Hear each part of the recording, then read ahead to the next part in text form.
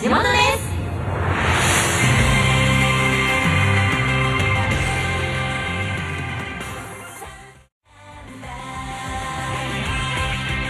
皆さんこんばんは。SKE48 の高柳あかねです SKE48 の加藤るみです。さあ始まりました。SKE48 の岐阜県だって地元ですこの番組は名古屋栄を拠点に活動するアイドルグループ SKE48 のメンバーである私たちが岐阜県の皆さんにもっともっと応援していただくべくお送りする30分です今回も私たち二人と個性豊かなゲストメンバーでお送りします。今週のゲストメンバーは、はい、SK48 チーム S 高校1年生16歳の後藤梨紗子です。お願いします。お願いします。りさこは？はい。来たことあるよね。はい、あの、つい最近ですね。つい最近来たよねつい最近おはい、つい最近来たから。またお邪魔します。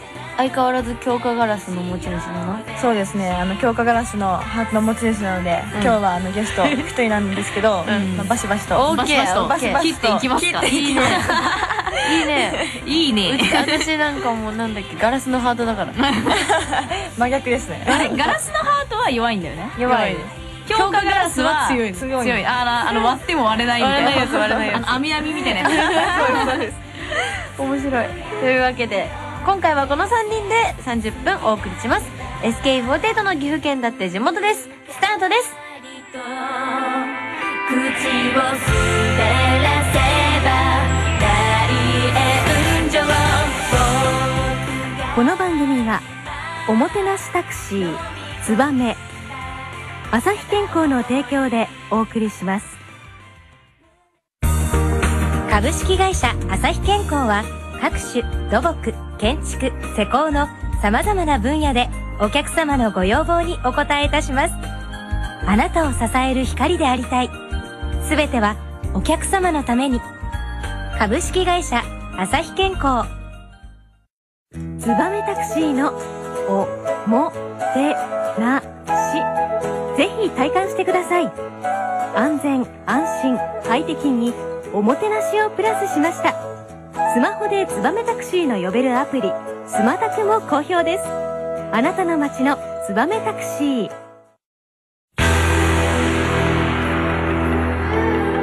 悪いことしたら脳が汚れずに詫びを入れる。それが女の道ってもんじゃねえのかい ?SK48 女の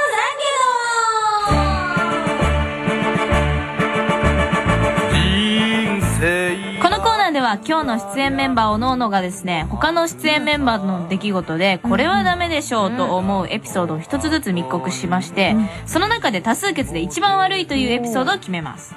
選ばれたエピソードの加害者のメンバーには、放送内でしっかり謝罪をしてもらおうというような推しコーナーでございます。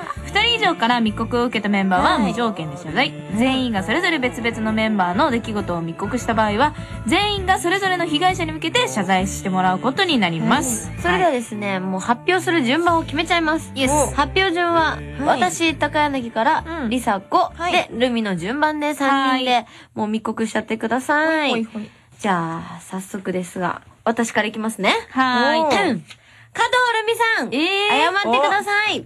なんかしたっけな。まあ、ルミは、まあ、釣りが得意でよく、こう、何、釣り行ったりとかして、たくさん美味しそうなお魚さんたちをググタスにとかに乗せるじゃないですか。はい。うん本当に羨ましくなるのでやめてください加藤ルミさん謝ってくださいなんだったら私にください いや、あの、本当に、うん。あれなんですよ、持ってき、きたいんですよ。うんみんなに。んなんですけど、うんそのロケ行った次の日とかに、うん。合わない。そう、合わないから、マジか生物なんですよね。あ、そうだよね。確かに腐っちゃうから、焼いた状あ態だの、からねプール、プール宅急便とかで送れればいい。あー、マジか。あの、住所を教えてもらえれば、じゃあ宅急便でね。かっこいいいなかっこいいね、クール宅急便で。うんじゃあ続いて、りさこちゃん、いけますか？はい、行きたいと思います。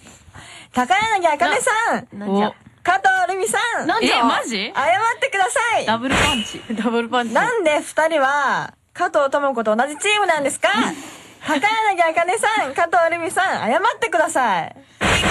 それは何？それは羨ましい。羨羨まましい。え、も、もこさんと一緒なのが。そう、もこさんずっとチーム K2 で一緒のチームそうだでね、なんかなんて言うんだろう。うんいつもあの、もこさんはうんチーム K2 で、あの、聞いたんですけど、トイレのうん、トイレを自分の なんか一人の楽屋にしてるって聞いたんですよ。してる、うんはいはい。そう。トイレのの狭いスペースを、あのね、ドレッサーみたいな感じになってマイルームみたいにしてるしてるしてるしてるって聞いてて、うんそんなね、もこちゃんをいつも見れるのは羨ましいなと思って。なんかさ、りさこ、ともこちゃんのことさうん、ともこって言ってなかった？ともこともこ言ってますね。結構もこさんね年上ですけどね。今年だけど10ね。個ぐらい上ですけど。仲いいよね、でも。仲良しです。ともこちゃんと一緒のチームってだけでうちらは謝罪をしなくちゃいけなくなってし 今ね。いや、もこさんの地位がどんどん上がってきますからうんね。そうですよ。もこ族のリーダーですから。いやーしょうがないです。族長です。じゃあラスト、ルミちゃん、い。けますか？いけます。お。い。後藤リコス、誰や、リコ。誰？誰や、まあまあ後藤リコは。後藤リコって言っちゃったそっちこそ謝ってください。本当だよ。ごめん。ごめんごめん。今謝るわ。それはごめん。ね。オッケ後藤梨紗子さん、謝ってください。後藤梨紗子さん、最近、友達がーとか言ってるから、あの、ルミと同じ部類の人だと思ってたのに、ちょっと友達ができちゃったのかなっていう悲壮感があります。後藤梨紗子さん、謝ってください。ー。何？え、ルミって友達少ない人だったっけ？少ない、いないですよね少なめだね。いないんだ少なめ。少なめでいつも、私が中学校の頃とかは、すごい、なんかいない同士で結構話が盛り上がってたなんですよ。結構なんかさ、うん話が合うな、うんこの人とはと思ってたんだけど、なんか高校に入ってから、高校デビューして、デビュー、し たデビューね。しちゃったデビューしちゃいまして。なんか友達がさ、みたそう、いいな。ろんな部類の友達がたくさんいますからね、私。そう、なんかそれがちょっと最近ちょっとルミとの距離を感じる感じちゃう話かなっていう。なるほど。ということで、3人それぞれエピソードが出揃いました。はいはい。誰が謝るべきなのか決めたいと思うんですけど、今回綺麗に3人とも別の人間を指してるので、そうですね。そうだね。どうなるんでしょうね。じゃあ、これはもうみんなで、うんすいませんって言おう。あ、オッケーはい。じゃあ、え、どうすればいい？このすいませんは、うん全力で、うざい声で言ってくだあ、さオッケーです。了解です。い。じゃあみんなうざさをちょっと心に秘オッケーめて。です。せーの。すいませんうざい。大丈夫？大丈夫？大丈夫？これは。すっごいうざい。すごいうざかったんだけど、とりあえず私は、ルミがクール宅急便で送ってくれればいいです。ああ、オッケー。じゃあそこら辺はちょっとしっかりよろしくお願いしします。はい。ということで、以後、皆さん気をつけてください。はい以上、女の懺悔堂のコーナーでした。それでは、今週の世直しの一曲です。SKE48 で、ジェラシーのアリバイ。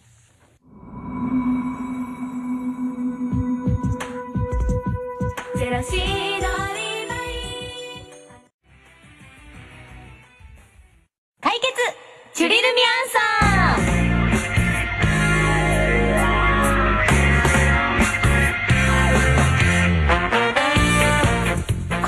では悩めるメンバーにお悩みを打ち明けていただき、そのお悩みをチーム K2 リーダーである高柳あかね相談員と SK の情報通の加藤るみ相談員がバシッと解決するというシンプルなコーナーです。というわけで今週も高柳相談員よろしくお願いします。ライダでは、今回の悩めるメンバーさん、お入りください。ーはい、えー、後藤梨紗子です。あれ、可愛いゴリラさんが入ってきましたが。ゴリラさんちょっとね、もうなんかちちょっと病んでる感じがね見えますよね。大丈夫かな？唇の血色はいいですけどね。めちゃめちゃいいですね。めちゃくちゃいいですけどね。めちゃくちゃいいですはい、じゃあ、お悩みをちょっと打ち明けていただきたいと思いまあ、ます。そうですね。はい私、はい。なんかこう、イメチェンをしたいんですよ。うん。なんか、あの、チュリさんもルミさんも、一うん回、なんかすごい髪の毛が長い状態で、バッサリ髪の毛を切ったことがあるじゃないですあそうか。一回そういう、なんか、ドンとみんなが驚くようなことをしてみたいんですけど、勇気がないんですよね。勇気ね。そう、私勇気がないんですよ。チキンなんで。勇気なハンマー持ってよ。あ おい、うまいこと言いましたね。いや、うまくねえだろ。いや、なんだろうね多分、うんなんか、リサ子だったらう、ん。え私が思うにですよ、なんか、パツキンみたいな。パツキン？パ、金髪だね。なんか？金髪みたいな。そういうイメチェンもなんか、なんていうの？あ派手なイメチェンがいいと思うんですよ。私がですか？そこまで行くでも私の中でイメチェンとまではいかないけど、うんリサ子はだいぶ大人っぽくなったと思うよ。あーそれは思う。うん確かに大人っぽくなった。ある意味全然イメージチェンジはされてる私の中で。確かに何ですか？ううんん。なんか、そういうね、大人っぽさは結構上がったと思う。うんでも、派手なやつが欲しいんでしょ？そう、なんかみんながあっと驚くよううなん感じの、え、なんかリサ子、え、どうした？みたいな。そうだね。そう前髪伸ばすとかは？あー、あー確かに。前髪を一回伸ばした写真を、うんあの、ブログにってあげたら、ファンの人と喧嘩しちゃったんですよ。なんでもう、大喧嘩、大喧嘩したんですよ。何々その喧嘩の内容を教えて、喧嘩のなん内容を。か、やっぱ大人っぽくなるじゃないですか、髪の毛伸ばすと。う んそうだねパッツンは結構ちょっと子供っぽいんで、うんファンの方って結構黒髪パッツンが大好きなんですよ。あ、へえ意外なんだけど黒髪パッツンでちょえ、っとでも長いみたいな。男は黒髪パッツンあんま好きじゃない？聞くよ。じゃあ、ファンの人です。あ、ファン男のァンの人は違うんですよ。アイドル好きの人はね。そう、それでうん。私はちょっと高校生になって、なんか周りの子とかも結構大人っぽい子とかなんか、うん。流したり流ね。したりしてて、いいなと思ってうん。やって、その髪型をうん。ブログに載せたら、やめろみたいな感じで、くさんのファンの方がすっごい説得してきて、あー、リサ子はまだそんな時じゃないって。なんか違うみたいな。違う、お前は違うんだ。お前は違うんだみたいなこと。お前は違う。お前はもっとこうなんだ。そう、言われて、なんか大喧嘩して、大喧嘩、大喧嘩、大喧嘩大喧嘩。大喧嘩大。喧嘩ね大大大大ですよ。大大大喧嘩した。そう。え、その時自分は反抗したの？え、めっちゃ反抗しましたよ。まあさすが反抗期も、だからね。そう。まあ、そんなの私が決めることだって言って、めっちゃファンの方にもまあ確かにそれはね説得したんです、けど。個人の自由ですからね、髪型はえ、。そうその時の自分は割と気に入ってたの？まあ、気に入ってたんですけど、うんなん、うん、なんかや、でもいりたかったです思うよ、ね。流すの。今いくつだったっけ？今16です。十のセブンティーンみたいになるちょっとタイミングにうんちょっとそうそうそう。やっぱ、キリがついた時にやった方がいい。そうですね私も K2 公演が新しくなった時に髪あそうだね、そうですね。だから確かに。キリってね、大切だと思いますよ。うんじゃあ、キリがいい時に。タイミングがね。タイミング、タイミング。んなんかその時のが目立つやん。なんか誕生日で、切りましたみたいな。いいですね。うんいいですねかっこいい。じゃあ、タイミングを見計らって。17歳の私はこうなりますみたいな。なりますよ。セブンティーンで、私そうはちょっとそうそうそう。まあそんな感じでしょうか。そうですね。はい。はいまあ、ファンの皆さんと喧嘩しつつ、これからも仲良くしていただきたいと思います。わかりました以上、解決チュリルミアンサーのコーナーでした。それではここで今週の解決の一曲です。SKE48 で、歌おうよ僕たちの効果。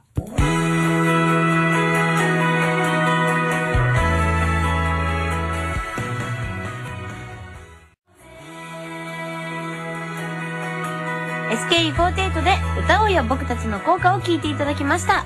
ここからはリスナーの皆さんからいただいたメールやチュリルミアンさんにいただいたお悩みなどを紹介しながら、えー私たち3人でビシバシ解決していきたいと思います。それでは最初のお便りを読んでください、イルミちゃん。はい。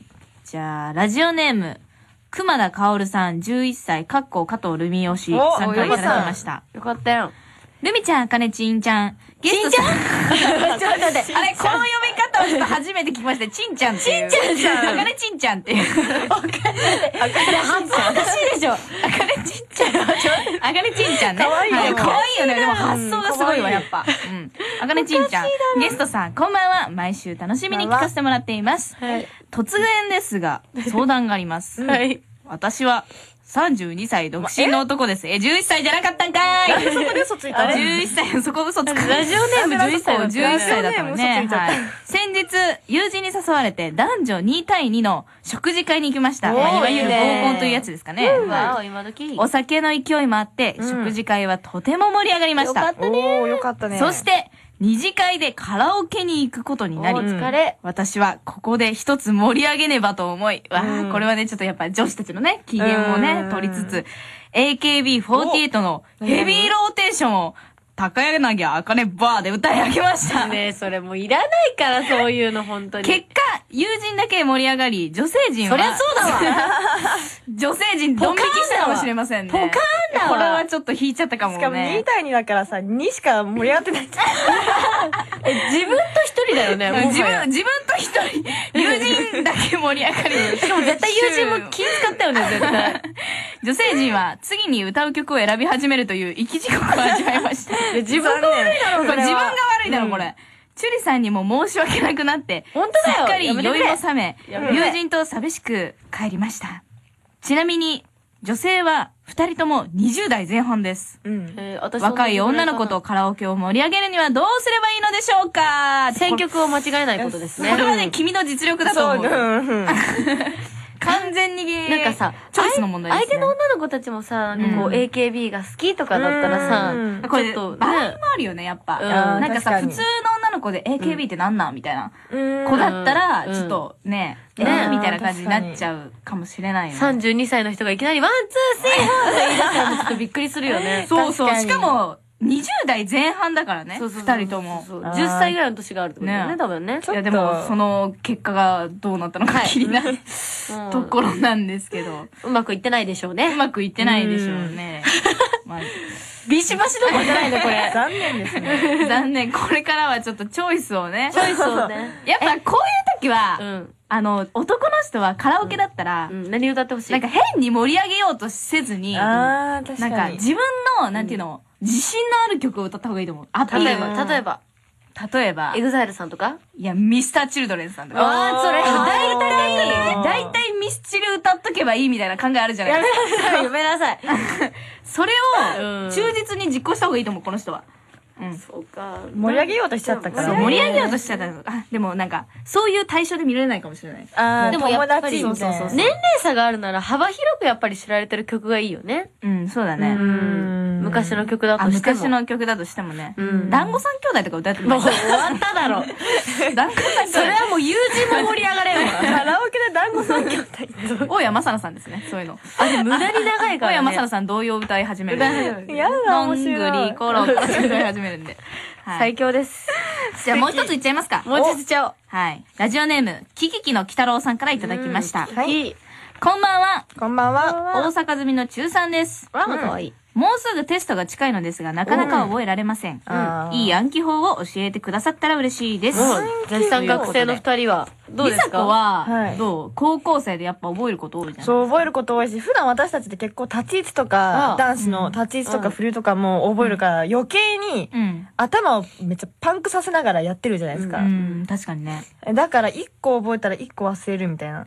逆にさ、あのーダンス覚えるより、勉強を覚える方が得意とかあるじゃないですか。まあね。勉強覚えるより、逆ダンス覚える方が得意う。それはどっちなの私、断然ダンスですね。ああ。まあ、体で覚えるみたいなのもありますからね。うんえ、でもなんか、あの、前テレビうでん、体で覚えるって本当にあるんだって。なんか、うんあの、例えばだけど、なんか卓球をしてて、うん先生が問題出してくれて、それに答えるっていうのでも頭に入るんだって、そっちのが。書くよりも。へ体を動かしながら覚えるっていうのはいいらしいよ、本当に。ーやっぱ普通に黙々と勉強するよりも、うんそっちの方がいいんかな。うん楽しくやった方が続きそうしかも。私は塾行ってた時に、うんズーク言ってたのか。あのー英語の単語あるじゃないですか。うん。ああ、はいはいはいはい。あの、読みながら覚えてた。だから、自分でこ口に出しながらそう、口に出しながらん、単語を書いて、うんそれ20個ぐらい書くんですよ、ひたすら。辛いで、。覚えたなと思ったら次の単語言って、うんで、どんどんどんどんどんどんやってた。口に出すっていうそう、方法ね。言葉にね、うん出した方が多分。どっかしら動かしといたそ方がいいんですね。うそうそう。多分、覚えやすいと思います。なるほうんど。まあ声に出して見ながら体を動かしながらやってみてくださいそうだね。ね。はい。はいぜひ参考にしてください。はいということで、その他にもね、たくさんメッセージをいただいておりまして、お名前だけでもご紹介させていただきます。はいラジオネーム、名古屋市の黒さん。うん三重県のカツオだって右利きさん。うん。ファイナルサードの申し子さん。うんおう HB031 さん。まあ、その他たくさんの方からいただきました。うん。ありがとうございました。ということで皆さんも出演メンバーに聞きたいこと、番組の感想など、番組メールアドレスまでどんどんお寄せください。ツバメタクシーのおもてなし。ぜひ体感してください。安全安心快適におもてなしをプラスしました。スマホでツバメタクシーの呼べるアプリスマタクも好評です。あなたの街のツバメタクシー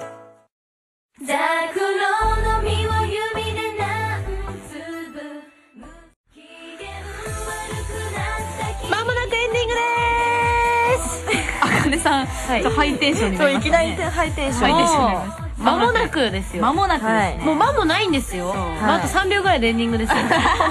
思い残したことはないですかりさこどうだった？今日。今日は、まあ、ゲスト一人ということで、そうだねこう、溶き込めるかな？みたいな。うん聞き込める？溶け込めるかな？そう、溶け込めるかな？みたいな感じだったんですけど、大丈夫でしょう全然あの、大丈夫ぐいぐいね、溶け込めました。ねそうですねはい。さすが強化ガラスのハーツ。今日印象に残ったことはファンの皆さんと大喧嘩。そうそう、それそれね。大喧嘩しました。はじゃあこれから仲良くしていただきたい。とい仲良くします。はい。いや、むしろ私はずっと喧嘩してるんですよ。いやでも喧嘩するほど仲がいいって言いますからね。そうそうそうだねはい。この番組では皆さんからのメッセージを募集しています。高柳あかね相談員、加藤留美相談員に解決してほしいお悩みがある方は解決チュリルミアンサーのコーナーへ。ニュース5プラスのスピンオフコーナーで、私たちに来てほしい街がある方は、その街の良さを普通歌で、それ以外の普通のお便りもお待ちしております。すべてのお便りは、E メールで受け付けております。メールアドレスは、ske.zf-web.com です。じゃんじゃん送ってください。じゃんじゃん。ということで、りさこ、やはい。っぱ喧嘩してるね。はい。ファンの方に、はい。やっぱ、まあ、ツンツンしてるから、いつも。はい。ええー、はい。愛のメッセージをお願いします。愛のメッセージ？えっ、と、ファンの皆さん、えっと、いつも私が鼻毛出てるとか、いつもいじってごめんなさい。でもこれは愛のあるいじりです。これからもお願いします。愛愛の無知でございますよ。愛の無知。愛の無知です。ファンの皆さんにも強化ガラスになってもらう。そうそうそうそう。そうですねあ、でも増えるんじゃない？なんか増えるのね免疫がつくからさ、リサペンそうそうそうそう。間違いない。そうだね。ということで、これからもこんなりさこちゃんをよろしくお願いします。ということで、また来週です。今週は、ザクロの実は憂鬱が何粒詰まっているを聞きながらお別れです。ここまでのお相手は、私、高柳あかねと、加藤ルミと、後藤りさこでした。バイバイ。バイババイ